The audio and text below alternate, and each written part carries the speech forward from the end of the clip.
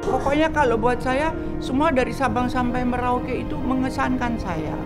Indah gitu, anggun, membanggakan. Pokoknya uh, terima kasih sama para leluhur yang telah menciptakan.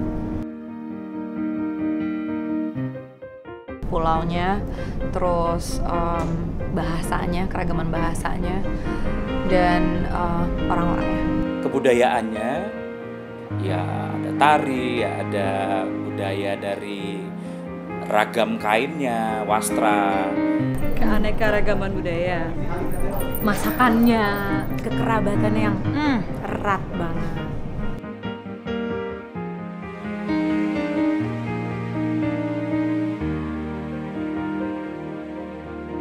Cinta budaya. Cinta Indonesia.